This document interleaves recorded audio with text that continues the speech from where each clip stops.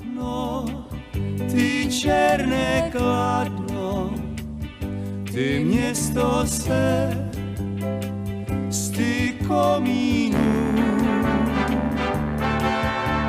Kladno, ty černé kladno, na tebe nikdy nezapomenu.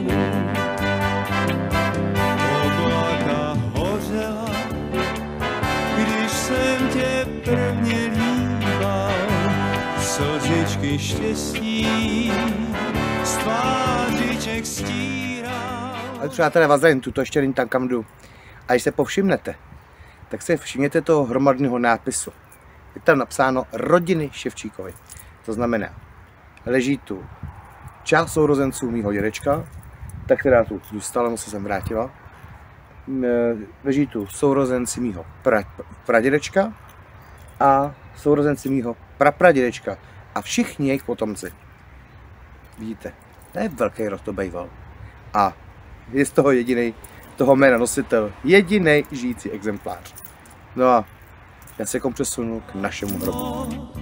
Ty černé kladno, ty město se z ty komínů. Kladno, černé kladno, na tebe nikdy nezapomenu. Oblaka hořela, když jsem tě prvně líbal, slzičky štěstí z tvářiček stíral. Nazdar lidi, já vás zdravím. Říkáte, dneska to začátek jako funerálně. Já se zdravím u svého vlastního hrobu. Přátelé, na hrobu, kde jsem dneska, tak to je hrob mého pradědečka. A můj pradědeček byl do války starostou obce Velká Dobrá. A já jsem dneska začal to putování tady, protože to je vlastně jediný, který se ve dva. Pradědeček se vrátil, ten potom po válce umírá a můj dědeček. No a já tak vždycky za ním jezdívám, vždycky, když to bereme tam, kam teď právě pojedeme. Teď se můžete podívat na to, jak vypadám já s pradědou. No a já se budu pokračovat dál, budu se tady rozjímat sám. Svíčku jsem mu zapálil a tady my jsme, nebo já teda, jsem na svý genetický půdě. Pradědo, ostudu tě nedělám, jsem v Majerau. Tak, a já se budu přesouvat o kus dál. Jo, pro ty, kdo neví, kde je Velká Dobrá, tak to je vesnice vedle Kladna a nedaleko Chřepče.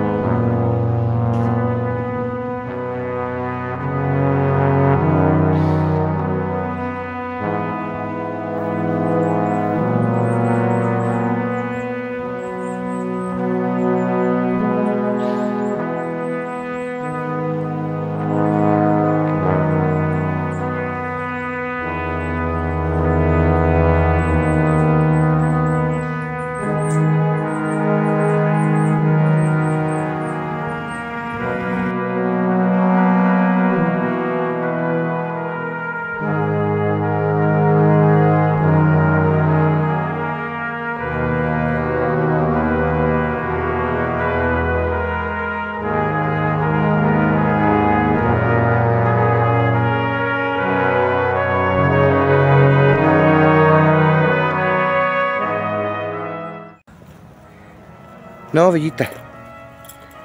Dneska by mi před 80 lety pustili sem. Ale jen už ne. No a proč jsem tady dneska? Tak já jsem tu ještě zítra. Ale dneska jsem tady proto, že jsem sem přišel dát, než začnou ty všechny ty, ty trachtace a rachtace, tak jsem sem přišel dát teda svíčku, protože dneska byl vlastně 9. června zábor naší obce. Zítra, až kolem 4 hodiny ranní, přátelé by došlo k tomu zničení té obce. No a já nesu ze šárkou barákou statku, neseme kitku a svíčku. No a zítra máme zase jinou traktaci, máme připomínkovou slavnost na dole Majrau, 10 hodin. No a vy se porozlídněte po okolí. Když se podíváte za mě, tak jak vidíte tu vysekanou trávu, tam všude stál parter obce Lidice.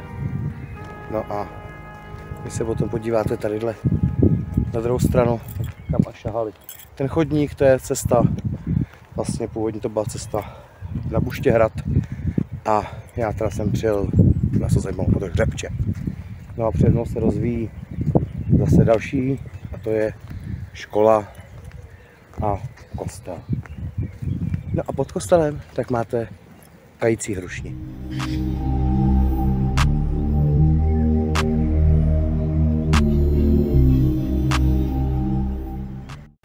Jestli vidíš za mnou takovýto lupení, tak to je starý lidický hřbitov.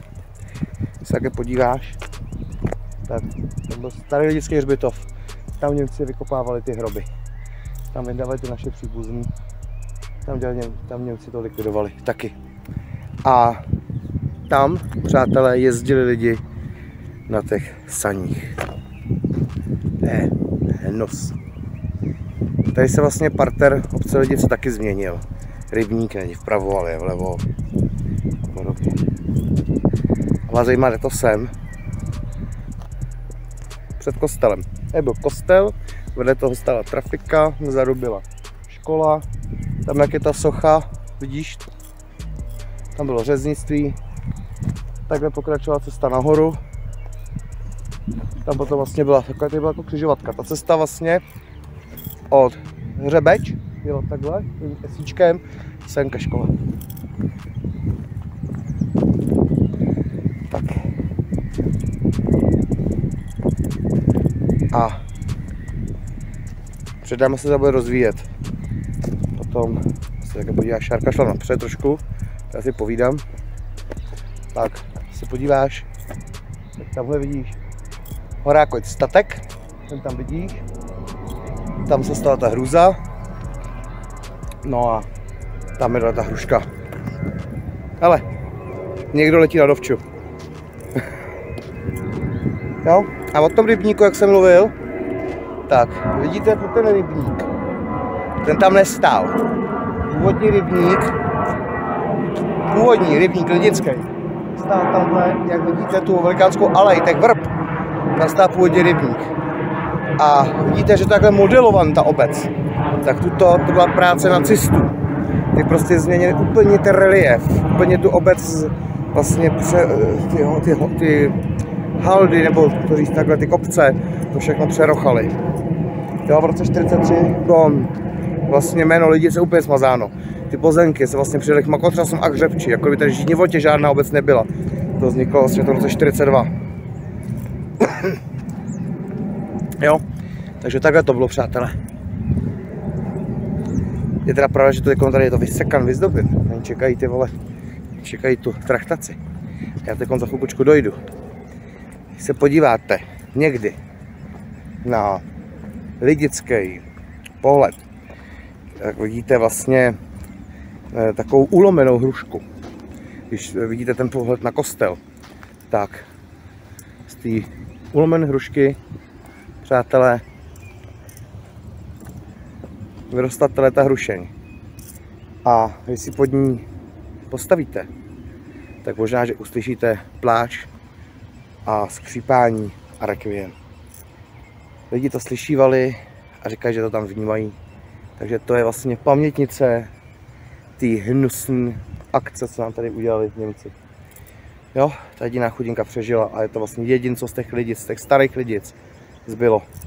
No a tahle ta homole za mnou je kostelík. A tamhle ty ruiny, tak tam nahnali ty lidický muže.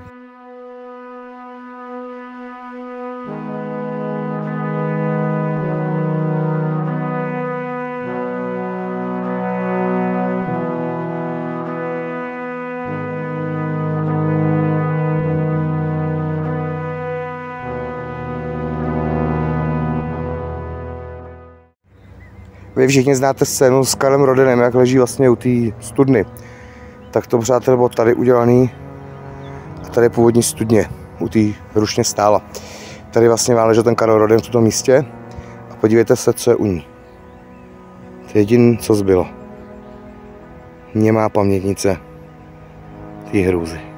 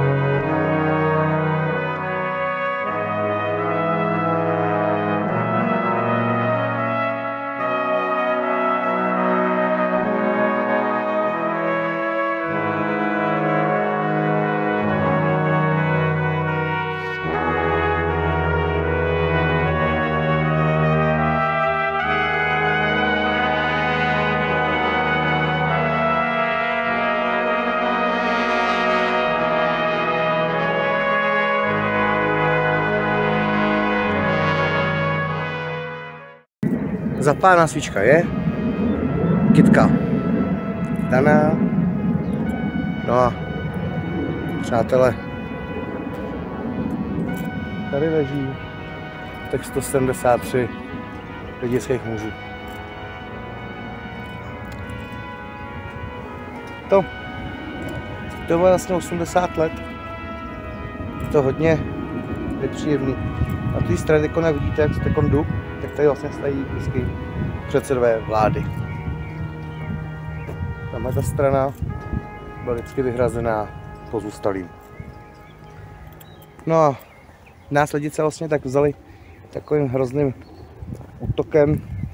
Máte se, ty rodiny tady byly prostě příbuzný a takhle to dopadá. A takový byl takový docela nic moc jako jsem za nebyl jako sany, protože že sem přijedete, mě to třeba působí hrozně to, protože půlka rodiny vlastně zemřela v koncentračních táborech, nebo že byli jsme příbuzní. Kus té rodiny tady vlastně zemřelo. Přímo teda přátelé tady v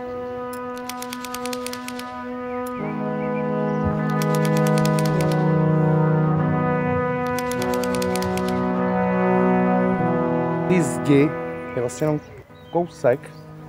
Vlastně jsou ty, ty katakomby toho, po katakomby, ty sklepení toho hráku a statku. A víte, co mi na vás zapůsobí zvláštně, když na těch ruinách toho hráku a statku a prostě si tam, si tam sedla rodina, mali se našel vyčůrat. Holka tam skákala prostě po těch kytičkách, to jsou tam prostě daný.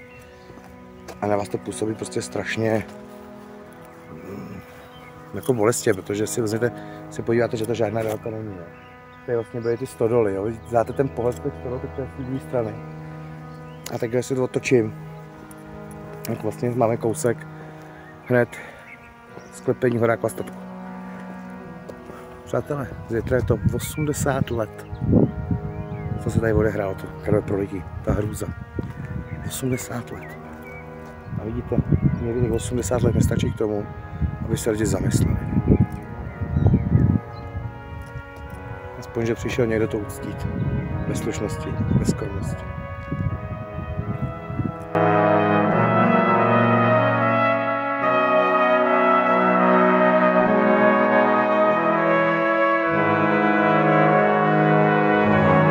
Děti zemřely v lodi.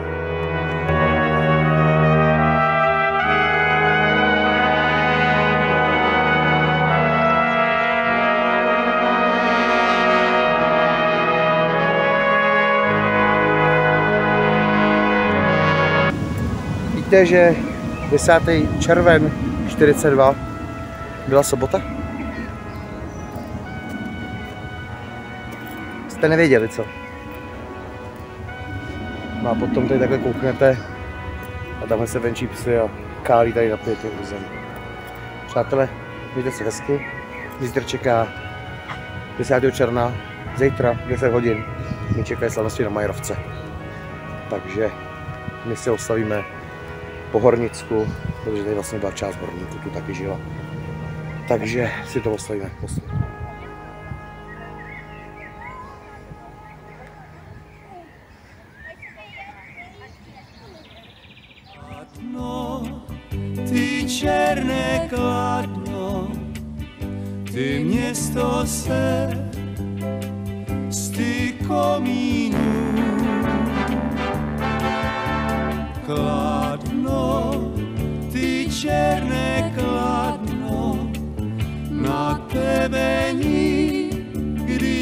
Úplně ti řeknu pravdu, já jsem se ani tak původně nechtěl. A jakože vkladně objížďka, tak jsem se dostal tak různě oklikama, zleva, zprava, jsem to přes Libušín, pak bylo to zavřené na Slan, pak to bylo zavřený na Rakovník. A tak jsem se furt dostával kolem a kolem, ty vole. Že jsem říkal šťárce, hele, Ronovka je tamhle na tom kopci, Ronovka na tom kopci, přátelé, víte, kde jsem vyjel. Já jsem vyjel na té Ronovce. Asi pradědeček chtěl, aby jsem se podíval na Ronov. Jinak, ještě zajímavost. Majrovku znáte jako Hornický muzeum. Původně Hornický muzeum mělo zůstat tady. Měla to být ta matka, Rona. Jenomže potom se to tak různě řešilo, řešilo a než se to dořešilo, tak Ronovku strhli. A byla to škoda. Ronovka byla vlastně technicky zajímavější, technicky větší a vlastně nejstarší. Vidíte, někdy i tak velký důl dopadne bledě. Ty černé kladno, ty město se z ty komínů. Kladno, ty černé kladno, na tebe nikdy nezapomínám. A než se s váma rozloučím, tak jak jsem byl na tom praděčkovo hrobě, tak můj pradědeček právě chodil do práce, chodil nejdřív sem, pak chodil na Majerou. A tady to místo, jáma Rona, dávala dřív všem práci. My si mi teď řeknete, Luky z nějakým dolu. Tuto je jen důl, to byla matka. To byla matka všech horníků. Všem horníkům dávala práci. Všechny horníky měla ráda. Starala se o své děti lidově. Je pravda, že ta matka někdy byla i krutá.